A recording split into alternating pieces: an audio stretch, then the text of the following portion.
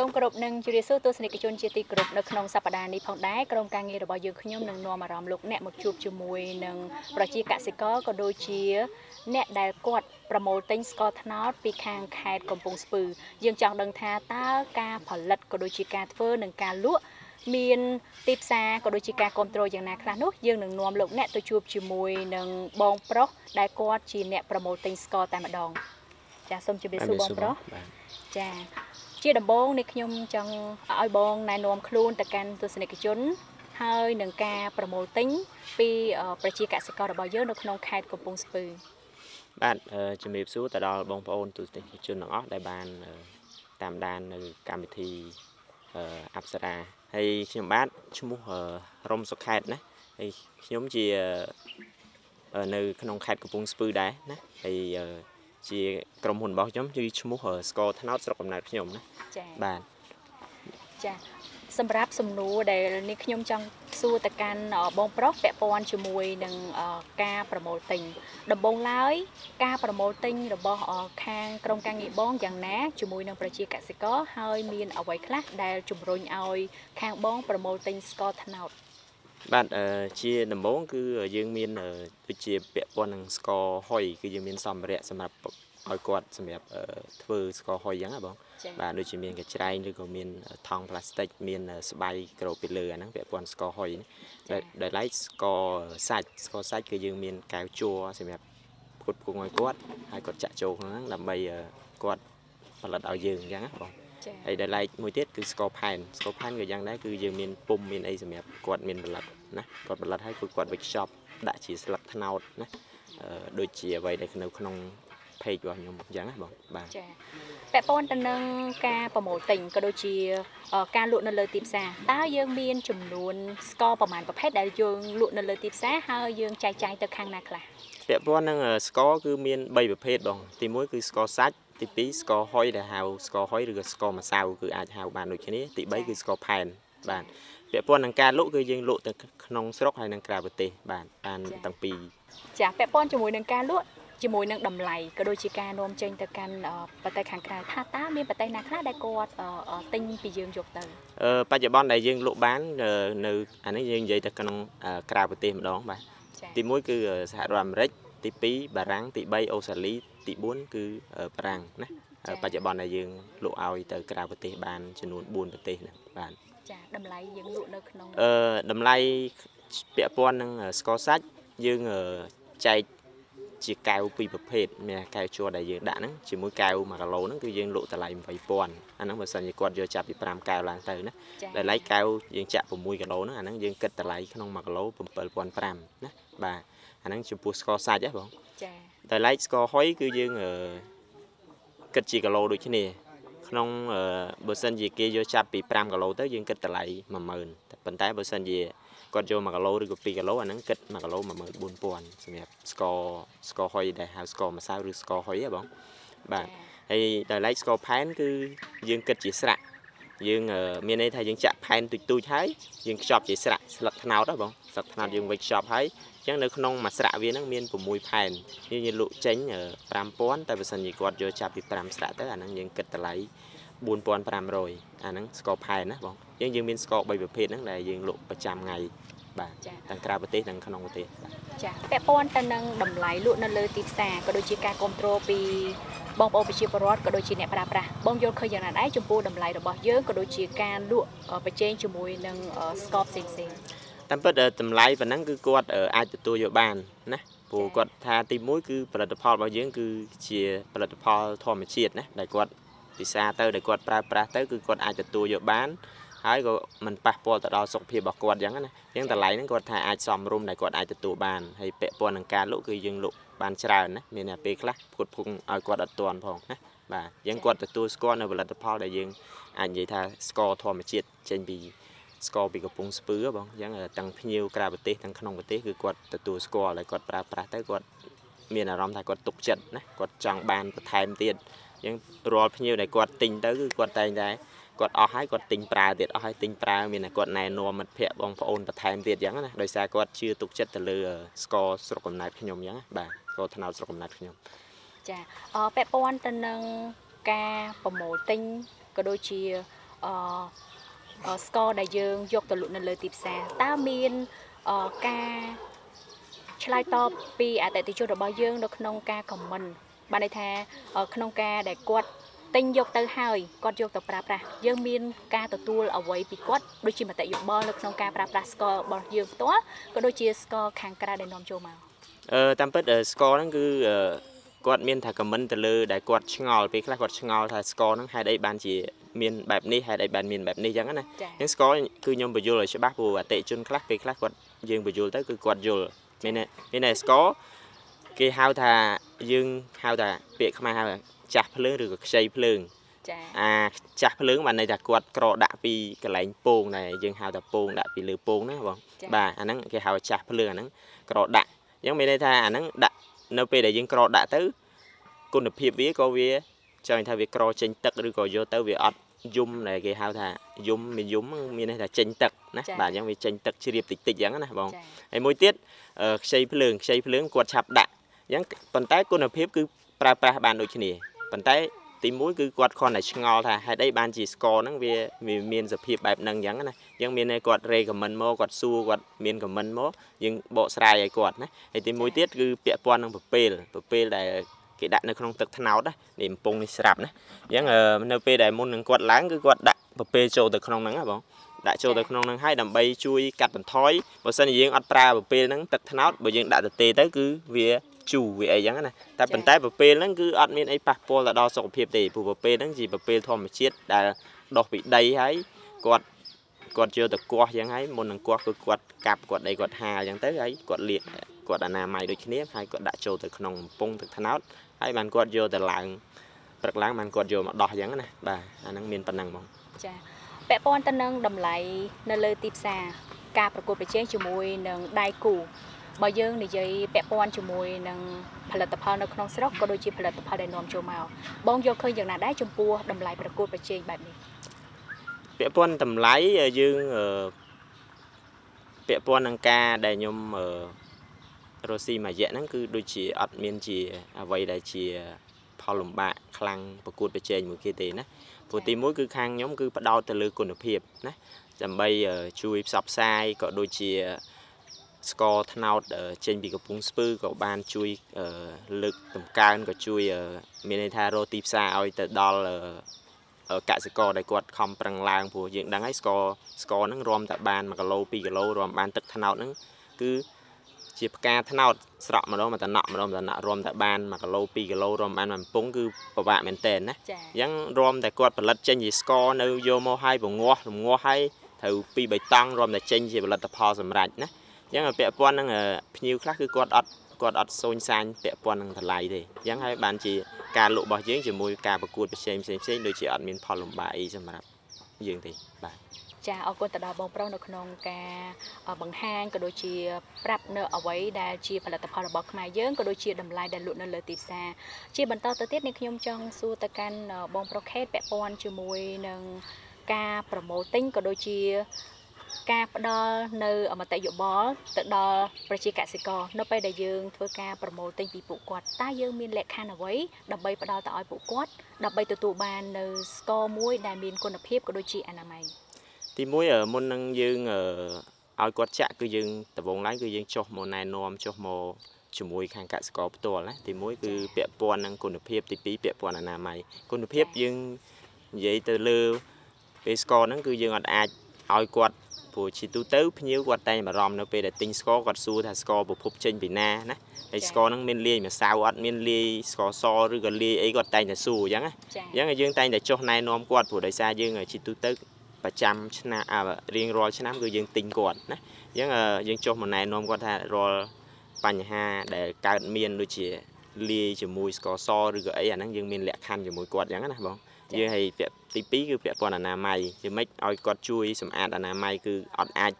មានកំតិចកំទីឬក៏អ្វីមួយដែលចេះតែដាក់ទៅចាក់ទៅឲ្យទៅហើយហើយអាហ្នឹងយើងអត់យកទេបើមិនជាយើងឆែកឃើញអាហ្នឹងយើងឈប់ទិញគាត់ឬក៏យើងផ្ដាច់ជាមួយគាត់ដែលឈប់ទិញប្រចាំឆ្នាំជាមួយគាត់អញ្ចឹងណាព្រោះយើងចង់បានស្ករមួយដែលគុណភាពព្រោះប៉ុន្តែជាទូទៅគឺយើងទិញហើយគឺអត់ដែលមានបញ្ហាទេដោយសារយើងបានចុះជាញឹកញាប់ត្រួតពិនិត្យទៅលើគុណភាពស្ករហើយគឺអនាម័យណា បាទអញ្ចឹងជាមួយស្ករវាជាមួយគាត់អត់ដែលមានបញ្ហាទេណាដោយសារគាត់ធ្វើទៅតាមអ្វីដែលយើងណែនាំគាត់អញ្ចឹងណាបាទចាតើនៅក្នុងការប្រមូលទិញពីពួកគាត់ក្នុងនោះមានប្រមាណគ្រួសារដែរហើយអឺការដែលគាត់ផ្គត់ផ្គង់មកឲ្យយើងនឹងគ្រប់គ្រាន់ដែរទេនៅលើទីផ្សារអឺបច្ចុប្បន្នគឺយើងមាន7គ្រួសារហើយយើងបែងចែកជា2ទីអឺបែងចែកជា2ចំណែក3គ្រួសារជាខាងផលិតស្ករហុយ ហើយ4គ្រួសារទៀតផលិតស្ករសាច់ហើយនិងស្ករផែនអញ្ចឹងណាបងចាហើយពាក់ព័ន្ធនឹងអឺការផលិតពេលខ្លះវាអឺអត់គ្រប់គ្រាន់ដែរដោយសារភ្ញៀវយើងអតិថិជនរបស់យើងគឺទិញកាន់តែច្រើនហើយការផ្គត់ផ្គង់កាន់តែតិចអញ្ចឹងណាបងបាទអញ្ចឹងអឺដោយសារការលក់របស់យើងវាមានការកើនឡើងពីពីមួយថ្ងៃទៅមួយថ្ងៃពីមួយឆ្នាំទៅមួយឆ្នាំណាដោយសារភ្ញៀវដែលចាស់ចាស់គឺគាត់ គ្រប់គ្រងហើយដល់ភ្ញៀវថ្មីគាត់ចូលទៅប្រើប្រាស់ម្ដងទៅគឺគាត់មានទំនុកចិត្តថាស្កររបស់យើងគឺអត់មានលាយអីអត់មានអីចឹងណាបាទគឺធានាសុទ្ធ100%គឺធម្មជាតិមែនអញ្ចឹងយើងគាត់ទទួលស្គាល់អញ្ចឹងអ្នកខ្លះក៏គាត់បានណែនាំភ្ញៀវគាត់ណែនាំមិត្តភ័ក្តិបងប្អូនដែលនៅជិតដែលគាត់ស្គាល់ឲ្យជួយទិញយើងអញ្ចឹងណាយ៉ាងអាហ្នឹងជាការកើនឡើងនៃការលក់របស់យើងអញ្ចឹងហើយបណ្ដាលឲ្យ ការផ្គត់ផ្គង់ពីកសិករអត់អត់សូវទាន់អត់គ្រប់គ្រាន់អញ្ចឹងហ៎បងបាទចាបើសិនជាយើងប្រៀបធៀបកាលពីមុនដែលយើងចាប់ផ្ដើមក្នុងការលក់ក៏ដូចជាមកដល់ពេលបច្ចុប្បន្នថាតើកំណើននៃការលក់របស់យើងនឹងមានការកើនឡើងឬក៏យ៉ាងណាអឺប្រកាសជាកើនឡើងបងប៉ុន្តែពីដំបូងគឺយើងជួបផលលំបាកទីមួយដោយសារកសិអឺអ្នកអតិថិជនគាត់អត់ទាន់ស្គាល់គាត់អត់ទាន់ស្គាល់ថាផលិតផលយើងសុទ្ធឬក៏មិនសុទ្ធអញ្ចឹងណាបងចាប៉ុន្តែនៅពេលដែល យើងចាប់ផ្ដើមពីដំបូងមកគឺចាប់ពីដំបូងមកដល់ឥឡូវហ្នឹងគឺឥឡូវគឺមានការកើនឡើងគុណទ្វេអញ្ចឹងណាបងកើនឡើងច្រើនមែនទែនបាទនៃការលក់បងអាចអឺប្រាប់បានទេពាក់ព័ន្ធជាមួយនឹងចំនួនដែលយើងលក់ដូចជាក្នុងមួយសប្តាហ៍ឬក៏មួយខែយើងអាចលក់បានប្រហែលដែរអាហ្នឹងជាទូទៅយើងគិតជាថ្ងៃបងហើយតែឥឡូវអឺអាហ្នឹងយើងបូកជាថ្ងៃទៅថ្ងៃវាអត់ទៀងជួនកាលថ្ងៃខ្លះអាចទៅដល់3 400គីឡូឬក៏ថ្ងៃខ្លះហើ យយើងបើសិនជាយើងបូកជាជាខែវាវាច្រើនដែរបងជាអាទិត្យព្រោះមួយថ្ងៃវា3 400គីឡូឬក៏300គីឡូយើងមួយអាទិត្យវា7ថ្ងៃបាទអញ្ចឹងមួយខែវាយើងគិតថា30ថ្ងៃចុះបាទអញ្ចឹងវា10ថ្ងៃ300គីឡូ400គីឡូអញ្ចឹងវាយើងគុណមើលទៅដឹងហើយចំនួនវាច្រើនដែរអញ្ចឹងហ៎បងចាបាទអញ្ចឹងពាក់ព័ន្ធជាមួយនឹងការអឺលក់ភ្ញៀវដែលយើងអឺលក់មានភ្ញៀវរីកក៏ដូចជាភ្ញៀវដុំតើយើងមានចែកចាយទៅកាន់បណ្ដាខេត្ត ណាខ្លះនៅក្នុងប្រទេសដែរជារួមទៅអឺសឹងតែ24ខេត្តក្រុងបងបាទចាបាទអឺរាល់ភ្ញៀវទាំងអស់គឺគាត់អ្នកខ្លះក៏គាត់យកទៅគាត់លក់បន្តពីយើងទៀតអញ្ចឹងទៅណាប៉ុន្តែអឺការទិញគឺច្រើនគ្រប់ខេត្តក្រុងទាំងអស់ចានៅក្នុងអឺបរិបទ COVID-19 ដែលយើងដឹងហើយថារាល់អាជីវកម្មក៏ដូចជាការលក់ដូររបស់បងប្អូនប្រជាពលរដ្ឋទាំងក្នុងស្រុកក៏ដូចជាបណ្ដាខេត្តក៏តែងតែជួបនៅបញ្ហា ថាតើក្រុមហ៊ុនរបស់បងផ្ទាល់ក៏ដូចជាការលក់របស់បងយ៉ាងណាដែរ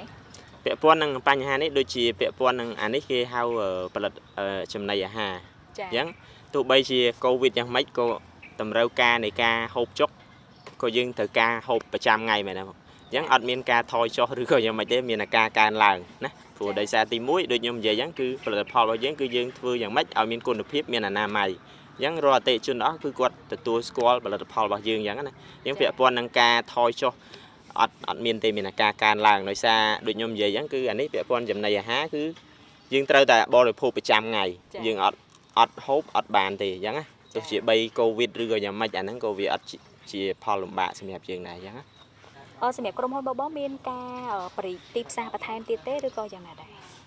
គម្រោងយើងប្រហែលជាអាចបរិចឆ្នាំឆ្នាំក្រោយណា ព្រោះឆ្នាំហ្នឹងវាមានការកើនឡើងច្រើនអញ្ចឹងឆ្នាំក្រោយយើងអាចបរិចឲ្យធំជាងហ្នឹងទៀតអញ្ចឹងណាបងបាទចាយើងអាចចង់ធ្វើជាកន្លែងមួយនៅនៅភ្នំពេញស្តុកនៅភ្នំពេញឬក៏តាមបណ្ដាខេត្តផ្សេងផ្សេងអញ្ចឹងណាកុំឲ្យពេលខ្លះអតិថិជនគាត់ទិញទៅអ្នកនៅភ្នំពេញរៀងជួបកលផលលំបាកដោយសារការដឹកជញ្ជូនរបស់យើងវារៀងឡេតឲ្យគាត់ឲ្យអីអញ្ចឹងណាបងអញ្ចឹងយើងមានដឹកពីនេះទៅទៅស្តុកនៅភ្នំពេញដើម្បីងាយស្រួលនៅពេលដែលភ្ញៀវគាត់កំងយើងអាចដឹកឲ្យគាត់ភ្លាមភ្លាមៗបាន ចាអរគុណទៅដល់បងប្រុសសុខេតពាក់ព័ន្ធជាមួយនឹងការលក់នៅលើទីផ្សារក៏ដូចជាការតាក់ទងជាមួយនឹងប្រជាកសិកររបស់យើងផ្ទាល់អឺបងប្រុសអាចប្រាប់បានទេពាក់ព័ន្ធជាមួយនឹងការផលិតស្ករត្នោតក៏ដូចជាចំនួនដើមត្នោតដែលយើងប្រមូលទិញពីប្រជាកសិករដែលយើងដឹងហើយថាមានប្រជាពលរដ្ឋមួយចំនួនគឺគាត់គិតថាដីឡើងថ្លៃអញ្ចឹងគាត់ធ្វើការកាប់ឆ្ការនៅដើមត្នោតមួយចំនួន ថាតើអ្វីទាំងអស់នេះវាអាចប៉ះពាល់ទៅដល់ការផលិត និងពេលអនាគតដែរទេអឺបច្ចុប្បន្នកាលគឺយើងអត់អាចវាចម្លៃបានត្រូវ100%ប៉ុន្តែបច្ចុប្បន្នកាលនៅពាក់ព័ន្ធស្ករត្នោតនៅកំពង់ស្ពឺគឺការផ្គត់ផ្គង់វាអាចប្រហាក់ប្រហែលដូចជាអត់មានហានិភ័យណាមួយដែរប៉ុន្តែដើមត្នោតវាតែងតែមានដូចបងនិយាយអញ្ចឹងគឺពាក់ព័ន្ធដីខ្លះគាត់ត្រូវការអភិវឌ្ឍកន្លែងផ្សេងផ្សេងនៃគាត់រស់ស៊ីអញ្ចឹងវាអាចកាត់មានថា កាត់ចោលឬក៏អីអាចអាចកាត់បន្ថយមួយចំនួនប៉ុន្តែវាអត់ដូចជាអត់ប៉ះពាល់ខ្លាំងទៅដល់ការការឡើងរបស់ប្រជាកសិករទេអញ្ចឹងណាបងហើយពាក់ព័ន្ធនឹងខេត្តផ្សេងផ្សេងខ្ញុំអត់សូវដឹងច្បាស់ទេដោយសារជាទូទៅគឺខ្ញុំទិញក្នុងក្នុងខេត្តកំពង់ស្ពឺអញ្ចឹងណាបងប៉ុន្តែនៅក្នុងខេត្តកំពង់ស្ពឺកសិករក៏នៅតែមានការឡើងច្រើនដែរអញ្ចឹងបងបាទ ចាហើយយើងប្រមូលទិញពីពួកគាត់យើងមាននៅក្នុងកងត្រាដែរទេដូចថាការទិញក្នុងរយៈពេលប្រមាណហើយដូចជាតម្លៃដែលយើងទទួលទិញពីគាត់នឹងតើមានការឡើងថ្លៃឬក៏យ៉ាងណាដែរទេនៅក្នុងការនិយាយជាមួយនឹងអានឹងយើងពាក់ព័ន្ធនឹងការរយៈពេលនៃការឡើងគឺយើងនិយាយជាមួយគាត់ចាប់ពីការចាប់ផ្ដើមរហូតដល់ចប់បើសិនជាគាត់អាចឡើងក្នុងមួយឆ្នាំនឹងពេញគឺយើងទទួលទិញមួយឆ្នាំនឹងពេញអញ្ចឹងហើយពាក់ព័ន្ធតម្លៃគឺគាត់ គាត់យើងមានកងត្រាជាមួយគាត់ថាតម្លៃប៉ុន្មាននៅប៉ុណ្ណឹងអត់មានការប្រែប្រួលទេជាចុងក្រោយតើបងមានពាក្យពេចន៍អ្វីដើម្បីផ្ដាំផ្ញើទៅដល់អតិថិជននៅក្នុងការគ្រប់គ្រងផលិតផលរបស់បងក៏ដូចជាផ្ដាំផ្ញើក៏ដូចជាឲ្យក្រសួងពាក់ព័ន្ធនៅក្នុងការជួយគ្រប់គ្រងនៅអ្វីដែលជាផលិតផលរបស់ខ្មែរយើងបាទហើយជាចុងក្រោយក៏ខ្ញុំបាទសូមអរគុណទៅដល់អតិថិជនទាំងអស់ដែលគ្រប់គ្រងទៅស្ករត្នោតស្រុកកំណើតខ្ញុំនៅខេត្តកំពង់ស្ពឺបង ហ្នឹងហើយអរគុណទៅដល់អតិថិជនទាំងអស់ដែលតែងតែគ្រប់គ្រងពីមួយឆ្នាំទៅមួយឆ្នាំការលក់របស់ខ្ញុំកាន់ឡើងកើនឡើងកាន់តែច្រើនណាហើយជូនពរឲ្យគាត់មានសុខភាពល្អរស់ស៊ីមានបានជាជុំទាំងអស់គ្នាហើយមួយទៀតក៏អរគុណទៅដល់ទូទុះអប្សរាដែលបានមកសម្ភាសមកដល់ខេត្តកំពង់ស្ពឺហើយក៏ដល់ដល់រូបខ្ញុំបាទដែលជាក្រុមហ៊ុនលក់ស្ករណាបាទស្រុកស្ករថ្នោតស្រុកកំណើតខ្ញុំហើយក៏បាន សម្ភាសយ៉ាងក្បោះក្បាយពាក់ព័ន្ធនឹងបញ្ហាផ្សេងផ្សេងក៏ដូចជាចម្ងល់របស់អតិជនឬក៏ភ្ញៀវមួយចំនួនដែលគាត់ឆ្ងល់ហើយនៅក្នុងហ្នឹងគឺគាត់បានសួរនាំឲ្យអស់អញ្ចឹងបងហើយខ្ញុំក៏បានអរគុណទាំងអស់គ្នាទៅទៅដល់ប៉ុសអប្សរាទាំងអស់គ្នាក៏ជូនពរឲ្យមានសុខភាពល្អរស់ស៊ីមានបានហើយប្រកបរបរអីឲ្យទទួលបានជោគជ័យទាំងអស់គ្នាបាទចាអរគុណដល់បងសុខេតទ ស្សនិកជនជាទីគោរពមុននេះយើងបានជួបជាមួយនឹងក្រុមហ៊ុនក៏ដូចជាអ្នកដែលគាត់ប្រមូលទិញស្ករត្នោតឥឡូវនេះយើងនឹងនាំអារម្មណ៍លោកអ្នកមកជួបជាមួយនឹងប្រជាកសិករដែលគាត់ជាអ្នកផលិតស្ករត្នោតវិញម្ដងចាសូមជម្រាបសួរអ៊ំស្រីចាអ៊ំស្រីមានឈ្មោះអ្វីដែរឈ្មោះគង់ណានអ៊ំស្រីរស់នៅក្នុងភូមិឃុំក៏ដូចជាការប្រកបរបរឡើងត្នោតនេះរយៈពេលប្រហែលហើយ ចាប់តាមពីឡើងត្នោតមក5 10ឆ្នាំហើយ10ឆ្នាំហើយ 10ឆ្នាំឆ្នាំនេះហើយចាមុននឹងអ៊ំស្រីអប្រកបនៅអាជីវកម្មក៏ដូចជាមុខរបរមួយនេះថាតើពីដើមឡើយអ៊ំធ្វើអ្វីមើលមួយគ្រួសារខ្ញុំមានការរបរឡើងត្នោតនឹងឡើងត្នោតហើយធ្វើស្រែធ្វើស្រែហើយអញ្ចឹងគាត់មានការងារអីអញ្ចឹងទៅដូចគាត់ធ្វើអាទិសធ្វើអីធ្វើការសំណង់អីធម្មតាអញ្ចឹងទៅណាដល់ពេលដល់ខែឡើងណោតចាប់អាជីពនឹងមកវិញចាឡើងណោតហើយអញ្ចឹងទៅដល់ខែទៅស្រែទៀតតែប៉ុណ្ណឹងមុខរបរ របស់ខ្ញុំមានតែប៉ុណ្ណឹងទេចាពាក់ព័ន្ធជាមួយនឹងការធ្វើធ្វើស្ករត្នោតលក់ចាតើអ៊ំធ្វើមានស្ករអីគេខ្លះដែរមានស្ករម្សៅស្ករម្សៅស្ករសាច់ចាចាពីមុនមកស្ករសាច់ចាការធ្វើនៅស្ករម្សៅវាមានផលវិបាកអ្វីខ្លះលំបាកតែមេឃប្រែប្រួលក៏បាក់ធ្វើបាក់ធ្វើអាធ្វើមួយថ្ងៃបានយកបានតែម្ដងឬពីរដងអីហ្នឹង ទៅជាស្ករសាច់អស់ហើយពិបាកតែបើមេឃមេឃល្អធាតុអាកាសអត់ប្រែប្រួលនឹងធ្វើបានច្រើន ក្នុងមួយថ្ងៃធ្វើបានមួយថ្ងៃចាចាយើងកោធ្វើប្រហែលដងដែរ4ដងទៅ5ដងបងងាយអ៊ំស្រីអាចរៀបរាប់ពីការធ្វើស្ករស្ករម្សៅតាំងពីដើមរហូតទទួលបាននៅផលមានចាក់ទឹកត្នោតដុតទើដុតបខំភ្លើងខ្លាំងបានធ្វើទៅអត់ខូចចាចា ធ្វើហើយរែងហ្នឹងទៅហាលហត់ដែរហ្នឹងរួមបានចេញពីដាក់កតេចាចូលចូលកតេពាក់ព័ន្ធជាមួយនឹងការធ្វើអ៊ំស្រីថាប្របាក់ប្របាក់បែបមិនដែរប្របាក់ធ្វើអត់ចេញដូចយើងកកកកអញ្ចឹងវារួយអត់ចេញទេអត់ឈ្ងួតទើកាលណាវាឈ្ងួតបានយើងរួយទៅចេញទៅហាលលើមានថ្ងៃក្តៅអញ្ចឹងដាក់ខ្ទះហាលខ្ទះអញ្ចឹងទៅចាបើកាលណាវាឈ្ងួតយើងយកមករែង រែងយកទៅហាលលើក្រែហ្នឹងទៀតយ៉ាងរយៈពេលប្រហែលថ្ងៃដែរហាលមួយថ្ងៃអត់មានថ្ងៃហាលមួយថ្ងៃដូចជាមានបញ្ហាភ្លៀងផ្សេងផ្សេងភ្លៀងប្រមូលទុកអញ្ចឹងទៅស្អែកឡើងហាលទៀតយ៉ាងបានបានច្រកទៅដាក់ក្នុងថង់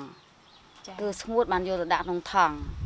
ចារយៈពេលបបាក់ដែរនឹងធ្វើស្ករនេះបើអ្នកណាតស៊ូបានធ្វើបានបើអត់គឺអត់ហើយពាក់ព័ន្ធជាមួយនឹងការធ្វើតើសមាគមក៏ដូចជាអឺក្រុមហ៊ុន មានការបង្រៀនទៅដល់អ៊ុំស្រីដែរទេបរៀនគេប្រហាត់ប្រហែលជាទុងជា2ម៉ោង2ម៉ោងខ្ញុំអាចចាប់អាជីពនឹងបានធ្វើទៅកើតចាចាដបងដបងឡើយចាដបងបើណាដបងនឹងដឹងចេះកោមិនទេហៅកូនភាសាអូនណាមកជួយកោម៉ែតិចកូនមកជួយកោអាកូននេះទៅវាអត់ទៅបើអត់ដែរទាញផងនឹងទាញយ៉ាងម៉េចផងអត់សូវប្រសពទាញអាកូននេះចេះទាញងាញ់ចាំមើលចាំមើលខ្ញុំចាំមើលកូនឯងវិញ លោកខ្លួនឯងធ្វើឲ្យម៉ែមើលម្ដងចាំម៉ែម៉ែចាប់ទាញចាប់ទាញគាត់នៅពីក្រួយខ្ញុំយ៉ាងលោកខ្ញុំទាញអត់បានគាត់ជួយទាញតែម្ដងហ្នឹងខ្ញុំចាប់បានរហូតធ្វើតែម្ដងហ្នឹងពីអ្នកកូនហ្នឹងអញ្ចឹងជប់ឲ្យកូនមកជួយយោចានឹងបកតែលើកទី1ទី1មកទល់សពថ្ងៃទីពបបាន4 5ឆ្នាំនេះអត់ដែលលំបាកឲ្យកូនណាមកជួយទេចាក់ធ្វើតែម្នាក់ឯងចានៅពេលដែលយើងធ្វើពាក់ព័ន្ធជាមួយនឹងស្ករថ្នោតពណ៌នៃស្ករ យើងមានដែរចំណាំមើលយើងធ្វើម៉េចដើម្បីទទួលបាននូវពណ៌ល្អពណ៌ដែលចំណាំដែលឲ្យពណ៌ល្អទើទឹកត្នោតនឹងដូចខ្ញុំនិយាយចឹងទើរមីធារការនឹងល្អទឹកត្នោតល្អទុកឲ្យយើងមិនចំណាំយើងមិនបបាក់ចំណាំគូទឹកត្នោតល្អគូយើងសំណុកធ្វើដែរសំណុកទាំងអស់តែបើមេឃប្រែប្រួលទុកឲ្យចំណាំយ៉ាងម៉េចគូចំណាំអត់ត្រូវដែរចំណាំអត់ត្រូវទេដែលមេឃវាស្អាតអត់លំបាកទៅធាតុអាកាសវាល្អគឺមិនបាច់ចំណាំក៏បានដែរគូត្រូវដែរចា នឹងធ្វើស្ករនឹងធ្វើស្ករសាច់ក៏យ៉ាងដែរធាតុអាកាសល្អទឹកត្នោតល្អស្ករសាច់ក៏ល្អដែរទៅទឹកត្នោតធាតុអាកាសអត់ល្អស្ករសាច់ក៏អត់ល្អដែរទៅជាក្រហមទៅជាស្អិតអត់កើតដែរចាអ៊ុំស្រីដែរចំណាំក៏ដូចជាក៏សម្គាល់ដែរទេថាចាតើទឹកត្នោតដែលយើងយកមកធ្វើហើយផលិតបានជាស្កម្សៅក្នុងមួយមួយមួយពេលដែលអ៊ុំស្រីធ្វើបានប្រហែលដែរអានឹងគិតជាមួយថ្ងៃហ៎ចា គិតជាមួយថ្ងៃក្នុងមួយថ្ងៃក្នុងធ្វើឥឡូវនេះបាន20គីឡូក្នុងមួយថ្ងៃចាតែទៅរយៈពេលខ្លីទេ20គីឡូហ្នឹងរយៈពេលពីដើមមកចាប់ធ្វើពីដើមមកជាង10គីឡូទេចាចាចុះប៉ុនៅណ្ណាពេលដែលយើងជួបផលវិបាកដូចជាមានការភ្លៀងឬក៏មេសតុំអីផ្សេងផ្សេងជាប់ផលវិបាកហ្នឹងទៅបានអាល្អបាន20ចុះមកនៅ15ធ្វើបានកើត15ទៅ14ចាបានប៉ុណ្ណឹងហ្នឹងចុះជួនណាចុះនៅ10គីឡូនោះក៏មានដែរ ដែលអត់អាដែលហ្នឹងខ្ញុំថាអត់អាលីងដែរដែលចុះនៅ10គីឡូហ្នឹងចាដាក់ត្រូដាក់អីយ៉ាងប្រងអាពីតពេញវាពេញកាលយ៉ាងទៅហាលក៏វាអត់ចេញ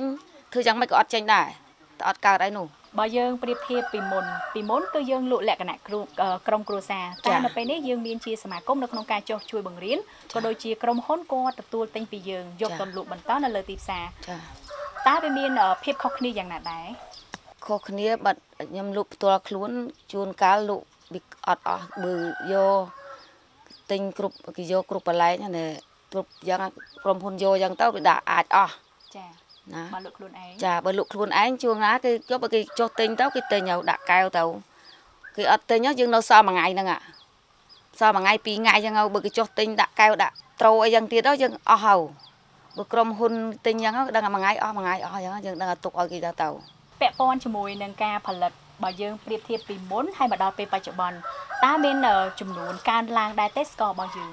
ឆ្នាំនេះកើនជាងឆ្នាំឆ្នាំតមិញចា៎កើនជាងឆ្នាំតមិញតែជាងឆ្នាំនេះអត់ទាន់យកម្ដងផងតែស្ករសាច់លក់បាត់រហូតចាក់ម្ដងម្ដងរហូតចឹងដូចថាកើនជាងឆ្នាំតមិញឆ្នាំនេះពាក់ព័ន្ធជាមួយនឹងការគ្រប់គ្រងនៅក្នុងក្រុមគ្រួសាររបស់អង្គផ្ទាល់ថាតើវាគ្រប់គ្រាន់ដែរទេឬក៏មានការខ្វះខាតយ៉ាងណាខ្លះ គ្រប់គ្រាន់អត់ខ្វះខាតអីខ្វះនេះចូលនោះក្នុងខ្វះស្ករចូលស្រូវមកអត់មានខ្ញុំថាអត់ខ្វះទេតាមដំណើរខ្ញុំដោះស្រាយចេញចាតាមមុខរបររបស់ខ្ញុំអានេះការឡើងណោចហ្នឹងរបរផ្សេងនឹងអាចផ្សេងខ្វះខាតស្រូវអត់មានស្រូវលក់ស្រូវអានេះទាន់បានចេញលក់ស្រូវនេះចេញទុកស្រូវមុខរបរខ្ញុំមានអាពីរហ្នឹងបើសិនជាយើងមើលទៅលើពេលបច្ចុប្បន្ន អ្នកខ្លះក៏គាត់ទៅធ្វើការរោងចក្រគាត់បបង់នៅអាជីពដែលជាគេដំណើររបស់ដូនតាចាអ៊ំស្រីយល់ឃើញយ៉ាងណាដែរចំពោះបញ្ហាទាំងអស់នេះខ្ញុំអត់ទៅរួមចាក់ទេខ្ញុំចាប់អាជីពរបស់ខ្ញុំហ่าធ្វើស្រែឡើងថ្នោតដែរអត់ឡើងថ្នោតចិញ្ចឹមគូក៏រុះដែរអត់ទៅទេរោងចក្រនោះតែរួងអាណិតកូននេះទៅរោងចក្រនេះកុំអត់មានលុយកាក់ផ្ដើមឲ្យដើមទុនកូនរោស៊ីនេះអីឲ្យកូនទៅទេនិយាយត្រង់នេះចាដូចជាលំបាកណាស់ស្រុកដូចជាអ្នកចំណាក់ស្រុកផ្សេងផ្សេងៗអ៊ំយល់ឃើញយ៉ាងណាដែរ សម្រាប់ខ្លួនខ្ញុំអត់ចេញពីស្រុកអត់ចេញពីផ្ទះទេ គឺមកវិញគឺហិនហោចអស់អត់សល់អីទេខ្ញុំចាំម្ដងខ្ញុំនៅចកាកែវមានអ្នកស្រុកប្តីខ្ញុំឪពុកខ្ញុំឲ្យមកឡើងណោដើមទៀបទៀបនេះទៀបទៀមទៀបយ៉ាងមកឡើងនេះមកកូន ទៅវិញស្រូវអង្គ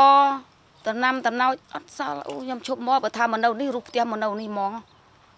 រូបមកទិញនឹងហ្មងមកនៅនឹងហ្មងលេងទៅមកលេងដើរចាខ្ញុំថាយ៉ាងខ្ញុំអត់ចេញទៅណា គឺទៅចាញ់ចាញ់នៅផ្ទះយើងរកអត់រកបានរកមានបានក៏នៅគ្រប់គ្រងរបស់យើងពាក់ព័ន្ធជាមួយនឹងរបររបស់អ៊ំស្រីផ្ទាល់ចាបានន័យថាយើងធ្វើស្រែ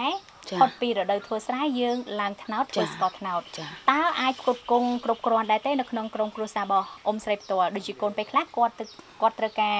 អឺរៀនសូត្រផ្គត់ផ្គង់សម្លៀកបំពាក់ខោអាវផ្សេងផ្សេងៗគ្រប់គ្រាន់ចាគ្រប់គ្រាន់ពីមុខរបរនេះ បើធ្វើស្រែឡើងណោតនេះខ្ញុំអាចគ្រប់គ្រងកូនខ្ញុំបានកូន3នាក់ហ្នឹងកូនខ្ញុំអត់ស្រូវរៀនបានជ្រៅជ្រះផងអត់សូវអស់លុយឪពុកម្ដាយហង